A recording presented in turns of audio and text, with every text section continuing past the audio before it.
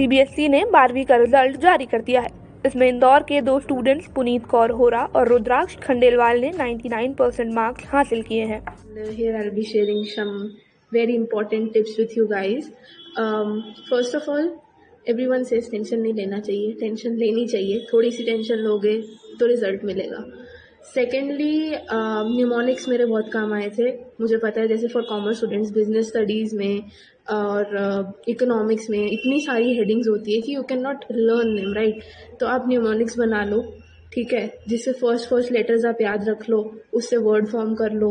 So that will help you out to remember the headings because अगर आपको concept समझ आ गया है तो हेडिंग्स विल बी इनफ दोनों ही स्टूडेंट्स ने सोशल मीडिया से दूरी बनाई थी। हालाँकि पढ़ाई के साथ दोनों ने खेलकूद और फैमिली फ़ंक्शंस में आना जाना जारी रखा। वहीं रुद्राक्ष ने बताया कि वो पॉलिटिशियन बनना चाहते हैं। अंकिता जोशी, दैनिक भास्कर, इंदौर।